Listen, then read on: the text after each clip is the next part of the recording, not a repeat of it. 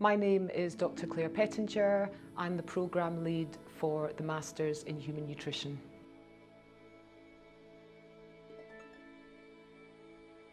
Human nutrition is the process by which the substances in our food get transformed into um, the energy required for human health.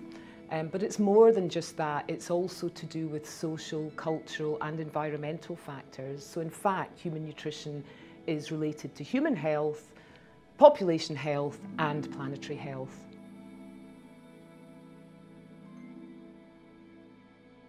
Human nutrition, I think, is as important as it could be as a human science. Um, we're seeing increasing global trends of diet-related ill health, such as obesity, cancer and diabetes, malnutrition, and these disease states are getting worse. But as well as human health, we're also seeing the importance of other social and cultural factors that relate to the cost of living crisis, inequity and the climate crisis.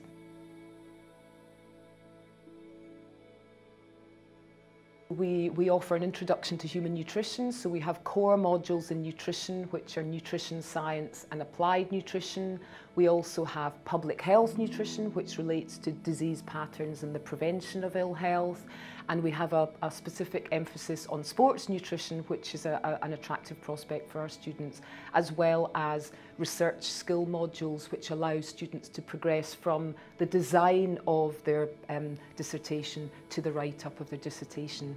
Our programme is also accredited by the Association for Nutrition, which is important because our graduates can then practice as associate nutritionists.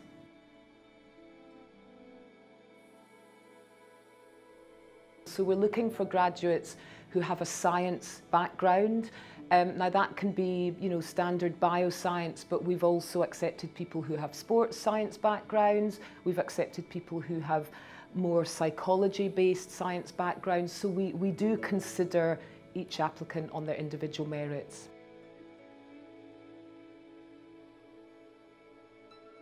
Plymouth um, offers a unique opportunity for um, students who have a non-nutrition background and we believe that our programme is one of the only programmes that offers that type of postgraduate human nutrition programme.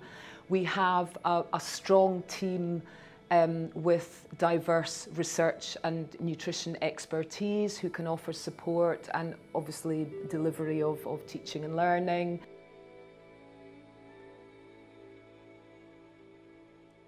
So there are a diverse array of career opportunities for our graduates.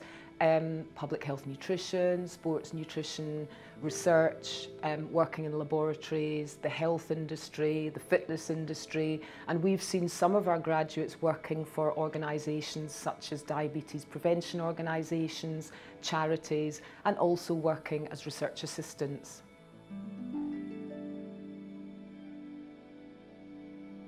So as programme lead, I've um, had a very rewarding and interesting career so far. I'm a public health nutritionist with a, with, an, with a keen interest in food insecurity, food justice and sustainability and the food system. So I would like to very much welcome you to, to the programme and do get in touch if you feel you want to find out more.